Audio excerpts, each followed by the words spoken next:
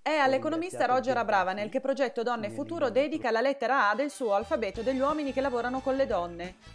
Di origini italiane, Roger Abravanel arriva nel nostro paese nel 1963 e frequenta con una borsa di studio il Politecnico di Milano, dove in breve tempo si laurea a pieni voti vincendo il premio di più giovane ingegnere d'Italia e una medaglia del Presidente della Repubblica. Grazie a un'altra borsa di studio frequenta il Master in Business Administration presso la Business School in SEAD, dove riceve la High Distinction. Roger Abravanel ha lavorato per 35 anni per la società di consulenza McKinsey Company. Attualmente opera nel settore del private equity, siede in consigli di amministrazione di società quotate, banche e dell'Istituto Italiano di Tecnologia. È presidente dell'INSEAD Council italiano e nel 2010 è stato selezionato tra i 50 alunni che hanno cambiato il mondo in occasione del cinquantenario della fondazione dell'istituto. Editorialista del Corriere della Sera, nel 2008 Bravanel pubblica il best seller Meritocrazia, quattro proposte concrete per valorizzare il talento e rendere il nostro paese più ricco e più giusto.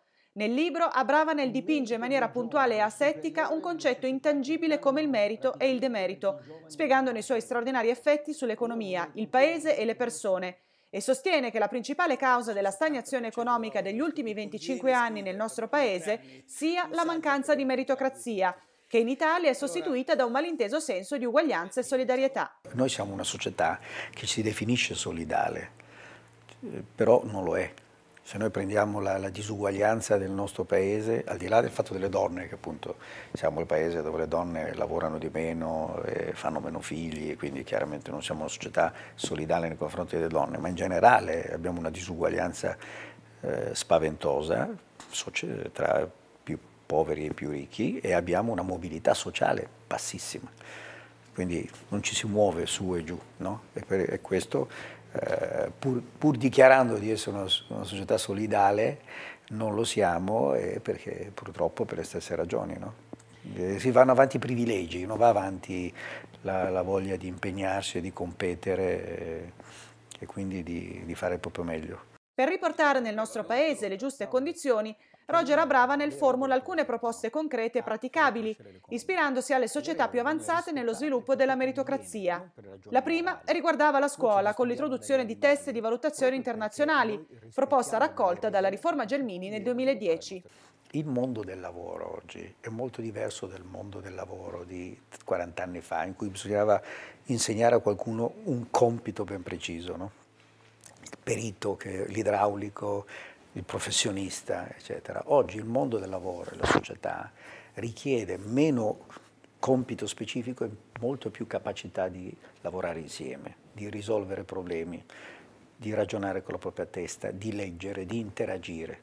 E questa è una cosa che viene chiamata dagli esperti life skills, le competenze della vita.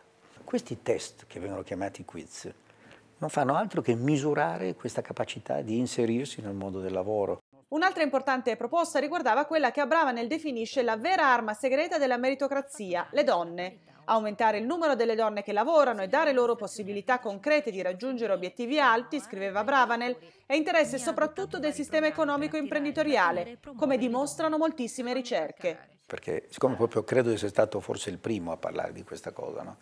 io ho capito che eh, tagliare fuori dalle possibilità di carriera, metà della, della società è, non è iniquo solo, ma è anche veramente stupido.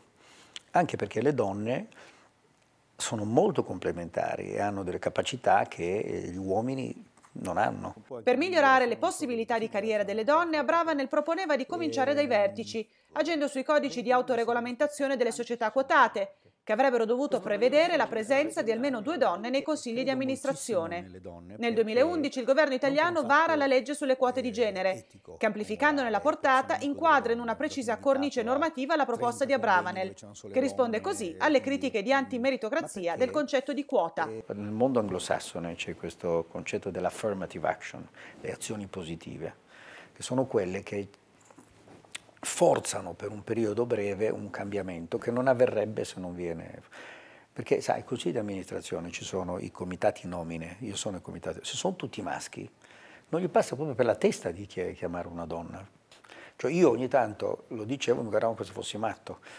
Allora, la, la quota è una cosa che deve succedere per un periodo breve, E sulla valorizzazione del merito e del talento femminile si concentra anche l'attività di progetto Donne Futuro, che aiuta giovani ragazze meritevoli a inserirsi nel mondo del lavoro attraverso un percorso di tutoring di altissimo livello. Noi abbiamo un mondo della scuola che non prepara al mondo del lavoro. No?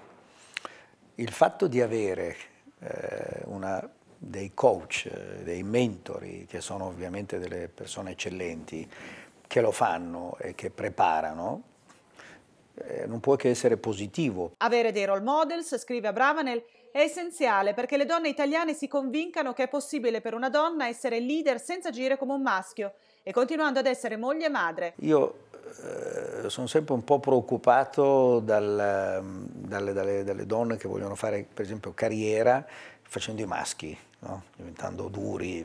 No, le donne devono avere la leadership femminile, quindi per me contributo femminile e leadership femminile. Le donne per, per, per, per avere successo debbono valorizzare proprie, la propria femminilità.